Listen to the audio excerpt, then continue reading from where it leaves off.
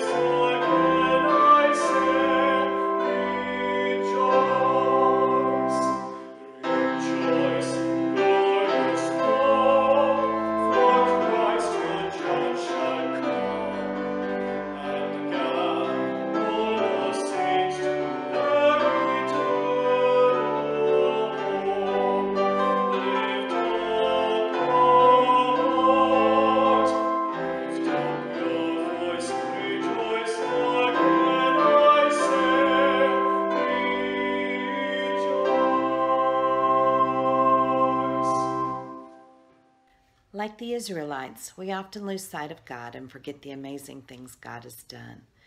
We may not build golden calves anymore, but we put our faith and trust in things other than God when times get hard. Let us come together now to confess our sins. Please pray with me. Gracious God, we confess that we do not always put our faith in you and you alone. We often create idols because our trust in you is fragile. It is easily broken by the slightest pause, whether that is an unanswered prayer or the feelings of loneliness. Our trust is easily displaced by gods of our making the God of self sufficiency, the God of hatred, the God of perfection. We let these idols consume us. Loving God, have mercy on us through Jesus Christ our Lord. Amen. Beloved siblings, hear the good news. God is merciful and forgives our sins through Jesus Christ our Lord. Thanks be to God.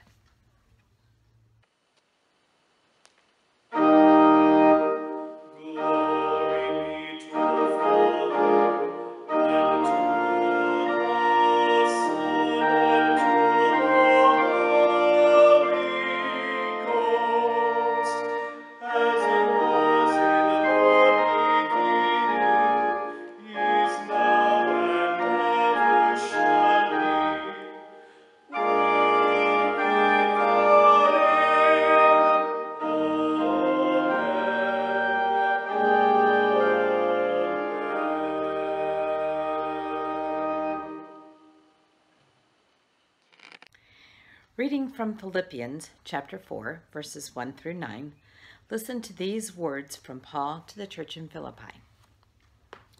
Therefore, my brothers and sisters, whom I love and long for, my joy and crown, stand firm in the Lord in this way, my beloved. I urge Euodia and I urge Syntyche to be the same mind in the Lord. Yes, and I ask you also, my loyal companion, help these women for they have struggled beside me in the work of the gospel, together with Clement and the rest of my co workers whose names are in the book of life. Rejoice in the Lord always. Again, I will say, rejoice. Let your gentleness be known to everyone. The Lord is near. Do not worry about anything, but in everything, by prayer and supplication, with thanksgiving, let your requests be made known to God. And the peace of God, which surpasses all understanding, will guard your hearts and your minds in Christ Jesus. Finally, beloved, whatever is true, whatever is honorable, whatever is just, whatever is pure, whatever is pleasing, whatever is commendable, if there is any excellence and if there is anything worthy of praise, think about these things. Keep on doing the things that you have learned and received and heard and seen in me, and the God of peace will be with you. Please pray with me. Holy God, enlighten our minds and hearts to hear your word today and understand what you have to say to us. Move the Spirit within us today. Amen. Today's second reading comes from the book of Exodus, chapter 32, verses 1 through 14. Listen now for a word from God. When the people saw that Moses delayed to come down from the mountain, the people gathered around Aaron and said to him, Come, make gods for us, who shall go before us.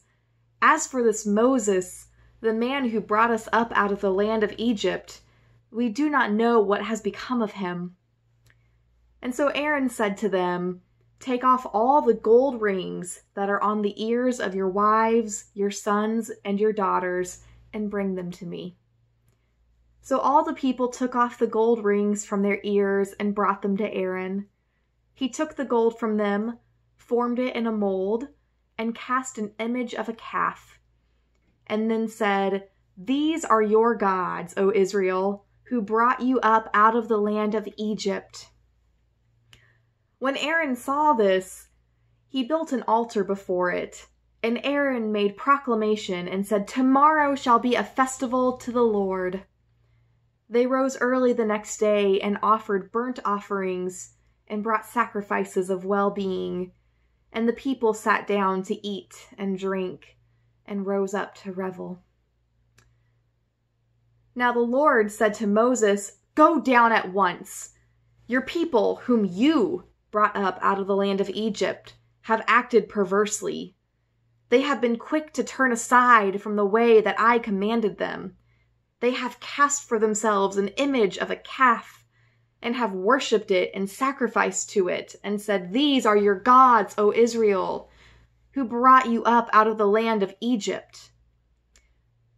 The Lord said to Moses, I have seen this people, how stiff necked they are. Now let me alone, so that my wrath may burn hot against them, and I may consume them, and of you I will make a great nation.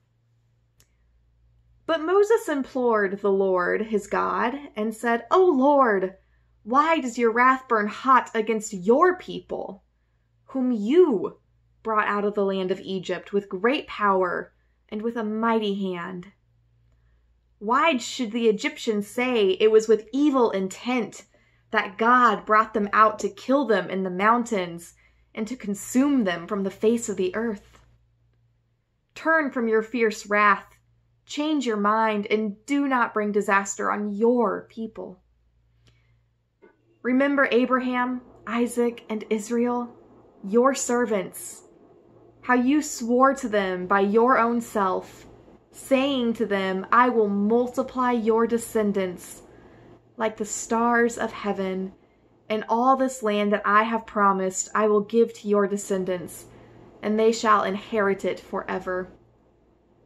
And the Lord changed God's mind about the disaster that God planned to bring on God's people. The Word of God for the people of God. Thanks be to God. Our passage today is the infamous story of the golden calf that the Israelites build while they are in the wilderness and Moses is up on Mount Sinai. In the beginning of this passage, we learn that Moses has delayed coming down from the mountain. He's been up on this mountain before, but not for this long. And this particular time, Moses was up on the mountain for 40 days. And in those 40 days, the Israelites became scared and lost their faith because their leader had seemingly abandoned them. And the Israelites are hurt, confused, scared, and they need someone to help them. They have been uprooted from their homes and are now wandering the wilderness on their way to the promised land. And they're doing all of this completely out of faith to God and being led by Moses. They have seen miracles happen uh, when manna fell from the sky and water came streaming out of a rock. But those miracles haven't become a part of who they are yet the vivid memories of living in oppression as slaves is still a bigger reality for them than these miracles. So, when left alone for just a little too long, their fears got the better of them, and they went looking to Aaron for a new God. In the lectionary, uh, this story is placed the week after the Ten Commandments are discussed to help highlight how sinful it was for the Israelites to make the golden calf and how quickly they broke the second commandment of do not make idols. The Israelites broke this promise in a huge way. But we break this promise a lot too. I don't know what you think of when you hear the word idol, but I often think about something shiny, like a trophy, something tangible that I can touch and feel and admire. This is one version of an idol. But idols can also be ideologies or dreams that we have. We can idolize ideas and less tangible things just as easily. When we create idols or idolize something, we are giving it too much importance in our lives. For the Israelites, they created an idol to worship instead of God because they thought Moses and God had abandoned them. So they created a false God to worship instead. What are some of the things you think you idolize or put too much importance in? For me, in high school and college, and even now a bit, though I think I'm getting better, I idolized my GPA. It was the most important thing to me. Ask my parents, they'll tell you yes. If I could have a stellar GPA, then I could make it in the world. I was set. I was golden. An excellent GPA was the most important thing. So I thought more important than church, more important than my friends, more important than the hobbies that I had. That number and idea of what that number could do for me quickly became an idol in my life. And I recognized that it was an idol because I saw how it hurt my relationship with the church and with God, and how I was willing to put it first over literally everything else. When I should have been putting my love for God first and letting that drive my life. And I'm not saying that striving to do well in school is bad and that you shouldn't worry about getting good grades and trying your hardest. What I am saying, though, is that it becomes an idol and something bad and toxic when it consumes your life. When that is the only thing you are fixated on. Because, y'all, we are so much more than a number. Whether that number is our GPA, our weight, our paycheck, we are so much more than this number that society has given us. And when we forget this, that we are so much more, and we idolize these things, it's not only harmful to us, but God is hurt too. Because God loves us so, so very much and doesn't want to see us engaging in this harmful behavior that we often don't realize we are doing. Recognizing idols in our lives and working to dismantle that idol is difficult work.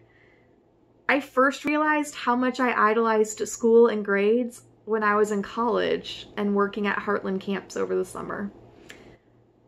And it wasn't until seminary that I really started to feel like I was making progress with dismantling my obsession with school and GPAs.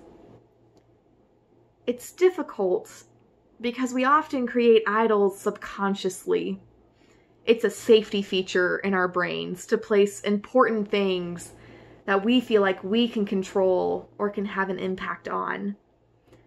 We often don't do it intentionally to be malicious or because we want to break the second commandment. It just happens because we are human and in our humanity is sinfulness. And while we may have individual idols, there's also communal idols and ideas that become idolized in communities or nations. In our story today, it wasn't just one person who was scared and asked Aaron to create a golden calf. Everyone was scared and in their scared and hurting states, they collectively came together and decided to create this idol. And we are communal people, which is good. But that can also lead to communal sins together. What are some things that you see communities idolizing? It could be this community at Trinity or our nation, the United States or another community that you are a part of a soccer team, uh, Girl Scouts, Boy Scouts, something in school, all of those. Just like the Israelites, we do not create communal idols intentionally. Rather, it happens because we are scared and probably want to feel like there is something within our reach and control that we can manage. It is good for groups and communities to have goals and things to strive for, but it no longer becomes good when those goals and wants become obsessive and become the thing that will save the church, that will save the Boy Scouts, that will save the nation. I know a lot of churches idolize young families they think if we can only get the young ones to come back, then we'll finally be okay. And they forget about all of the good work they are doing. And they forget to worship and love God in the midst of all of this. And it's when this belief becomes this thing other than God can save us, or this thing other than God is the one thing we need we have created an idol. Fortunately, God is so, so, so good to us. God loves us so incredibly much and gives us so much grace. God sees us being little idol factories and loves us anyway. And is just waiting for us to realize our idols and start doing the hard work of dismantling those idols. God loves us and forgives us. Hear that. But we still got to do the work to love God back and make sure God is the important one. Not a GPA, not the amount of children running around the church, not the church budget. God is the one who saves us, and that is worthy of all the praise and worship. So I encourage you today to think about what your personal idols may be, what idols you may see in your community, and start that hard work of dismantling those. Find the ways to redirect your thoughts to God. For me, I had to remember, and still have to remind myself every single day, that God will love me and cherish me no matter what. If I get an A or a B or an F, God still loves me and will always love me. In our community, it could simply be asking the question how does this goal or need help us worship God and love God more? Or answering the question, are we forgetting to put our faith in God first? Community discernment is hard work, but it's good work too. And it won't be easy. But we have each other, and we have God who loves us and cherishes us oh so much, and always will. Amen.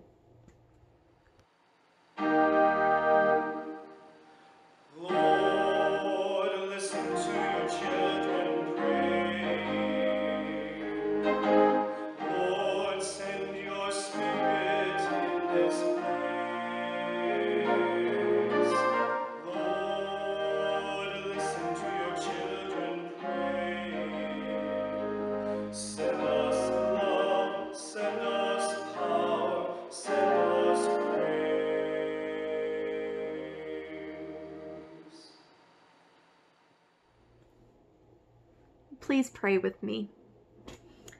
Gracious and loving God, we know you hear our cries and our prayers. You hear our joys and our laughter that are sometimes tinged with sadness. We come to you today in prayers that are full of both joy and sorrow.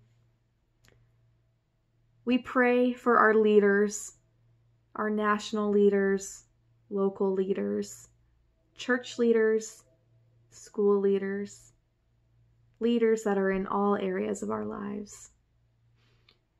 We pray that they may lead with sincerity and with their hearts oriented towards the good of all people.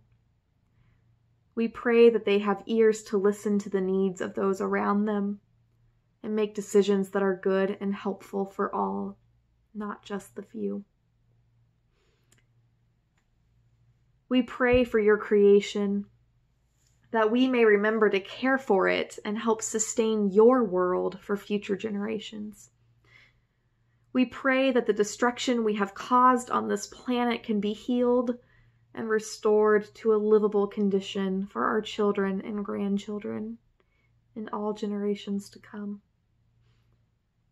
We pray for our community for everyone who is struggling with online school and online work and online everything. With those who are wrestling with their productivity levels and just trying to find that extra energy in this pandemic. With those who are lonely and feel they have lost their community during this scary and novel time. We pray for those who are suffering, Lord, in so many ways. With COVID, the flu, cancer, chronic disabilities, just every illness imaginable. Those who are suffering from homelessness, who are hungry, who are uninsured and scared. These are hard times, God. Give us the strength to keep going and to find the good in our world. And we pray all of this to you through Jesus, who taught us to pray by saying, Our Father, who art in heaven, hallowed be thy name. Thy kingdom come, thy will be done, on earth as it is in heaven. Give us this day our daily bread, and forgive us our debts, as we forgive our debtors. And lead us not into temptation but deliver us from evil. For thine is the kingdom, and the power, and the glory forever. Amen.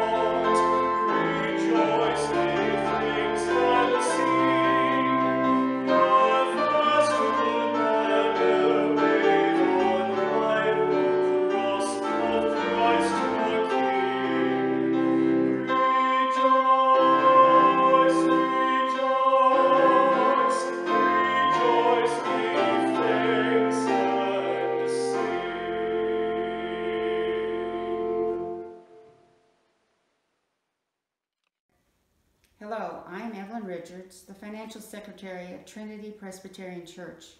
The session members and I want to thank members who have continued to send to Trinity their pledges and contributions during this difficult time. The work of the church continues thanks to your generosity. Please continue to send pledges and contributions to Trinity Presbyterian Church, West 1400 Sheely Road, Independence, Missouri 64052. We appreciate your help so much. Friends, remember God loves you so, so much. And dismantle those idols and love God back.